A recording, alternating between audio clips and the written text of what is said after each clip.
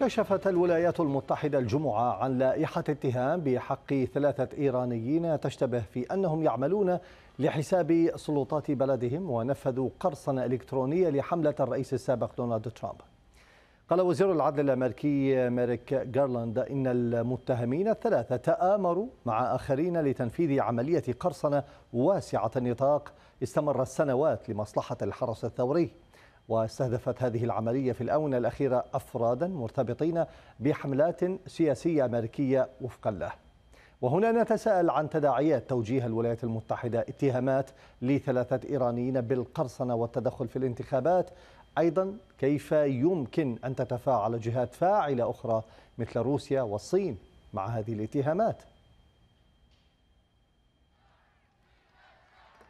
أجهزة إنفاذ القانون الفيدرالية الأمريكية تعتزم إعلان اتهامات جنائية تخص الاختراق الإيراني المشتبه به لرسائل البريد الإلكتروني لأعضاء في حملة المرشح الجمهوري للرئاسة الأمريكية دونالد ترامب.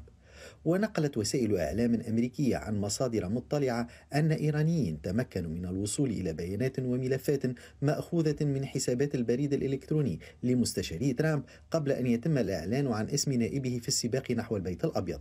وأضافت التقارير أن حملة ترامب وهي الضحية في هذه القضية تم إعلامها بهذه التطورات كما أنها ستحصل مستقبلا على أي معلومات متعلقة بأي اتهامات سيتم توجيهها للأطراف المسؤولة عن هذا الاختراق وذلك وفقا للمعايير المعتادة لوزارة العدل. وقد أكدت عدة مصادر أنه تبين أن المواد المسروقة من حملة ترامب تم لاحقا تسريبها إلى صحفيين وإلى حملة الرئيس جو بايدن عندما كان لا يزال مرشح الحزب الديمقراطي. ويذكر أن إدارة الأمن السيبراني لشركة مايكروسوفت أعلنت في وقت سابق أن قراصنة إيرانيين قد أرسلوا رسالة تصيد متطورة في شهر يونيو إلى مسؤول رفيع في حملة ترامب.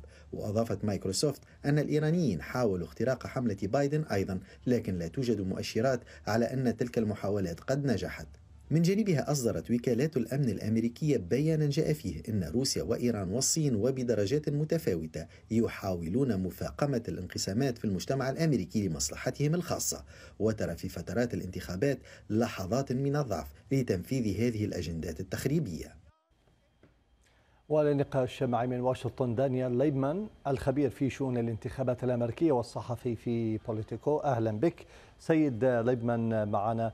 وأريد أن أسألك عن هذه الاتهامات لإيرانيين ب آه، آه، يعني الهجوم السيبراني على حملة المرشح الجمهوري دونالد ترامب وهذا يقود آه، بحسب هذه الاتهامات إلى التلاعب أو التدخل في الانتخابات الأمريكية، ما مدى حجم خطورة مثل هذه التدخلات أو ما تم تحديده من هؤلاء الإيرانيين حتى الآن؟ هذا يبعث على القلق وخطير جدا. في 2016 بالطبع الحكومة الروسية اخترقت البريد الإلكتروني اللجنة الديمقراطية ونشرت المعلومات وأعطتها للعديد من الأذرع الإعلامية. هذه المرة الإعلام الأمريكي تعلم الدرس ونحن لن نكشف مثل هذه المواد إذا حصلنا عليها بطريقة غير شرعية وبالتالي لم نرى أي تقارير عن هذه الوثائق.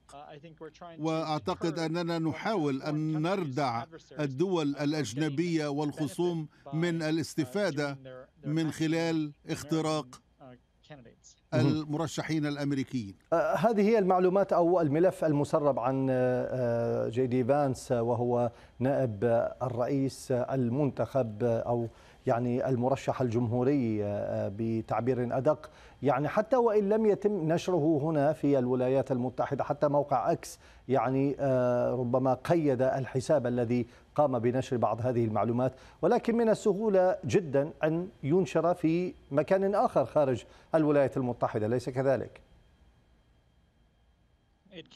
نعم هذا صحيح ولكن الصحفي الذي جمدت إكس حسابه لأنه نشر ذلك هو صحفي لا يعمل لصحيفة واحدة كمثلا كنيويورك تايمز أو واشنطن بوست وبالتالي لا يوجد لديه رؤساء.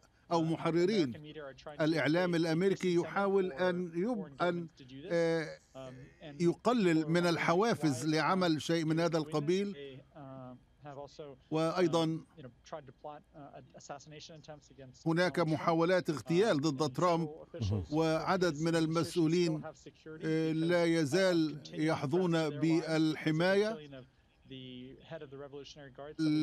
لأنه كان هناك قتل لقاسم سليماني وإيران كانت تحاول أن تنتقم لمقتله عن طريق القيام بعملياتها الانتقامية. لو لم تكن إيران متهمة بتسريب مثل هذا الملف أو كما حصل في العام 2016 واتهام روسيا بالتدخل أيضا لو كانت هناك أي ملفات وفيها معلومات ألا تعتقد أن من حق الناخب والمواطن الأمريكي الاطلاع على هذه المعلومات ربما تكون معلومات ليست جيدة للشخص الذي يترشح لمنصب حساس في الولايات المتحدة وهذا سيؤدي بطبيعة الحال لعدم انتخابه.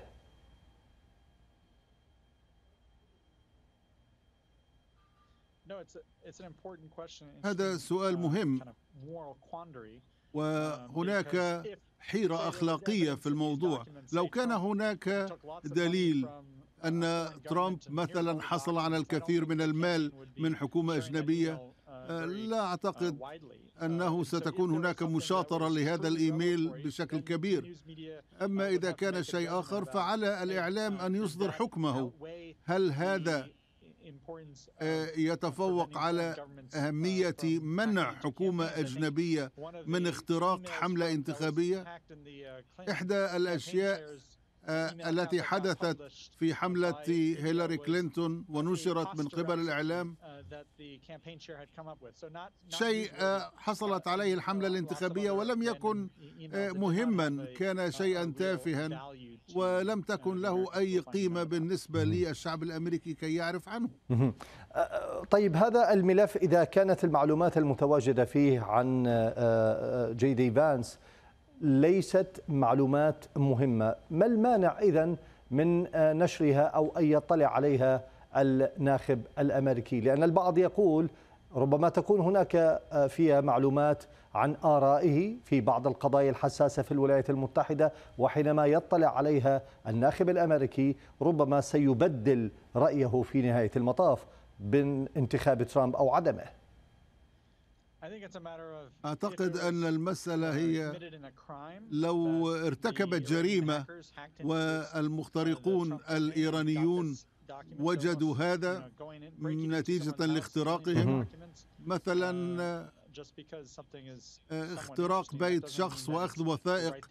هذا لا يعني أنها أن من الممكن نشر هذه الوثائق. نحن لا نريد من روسيا أو إيران أن تقرر من هو الرئيس القادم. وأعتقد لو كان هناك شيء مهم جدا. فالإعلام يمكن أن يستغل ذلك. ولكن عدا ذلك فالحملات أو مواد الحملة الانتخابية الروتينية التي لن تغير آراء الناس لا تستحق. ما هي الآن في هذه المرحلة المسؤولية الملقاة على عاتق السلطات المعنية بمكافحة مثل هذه الهجمات السبرانية خصوصا وأن هناك تهديدات ليس فقط بمثل هذا النوع من الاختراقات السبرانية بل تهديدات لحياة مرشح جمهوري للانتخابات الرئاسية وتتهم إيران بهذه التهديدات.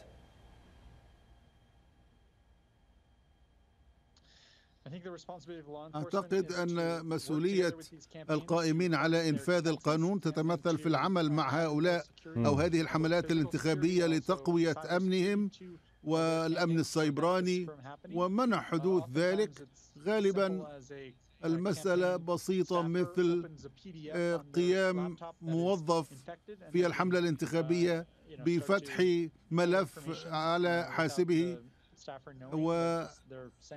وتكون هناك عملية اختراق وإرسال معلومات إلى إيران أو لاعبين أشرار آخرين.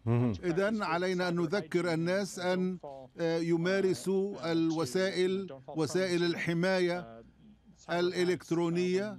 حتى لا يمكنوا الهاكرز أو المخترقين من الحصول على ما يريدون. ماذا عن السيطرة على التسريبات الداخلية وليست هجمات من خارج الولايات المتحدة؟ كيف يمكن السيطرة عليها من الداخل؟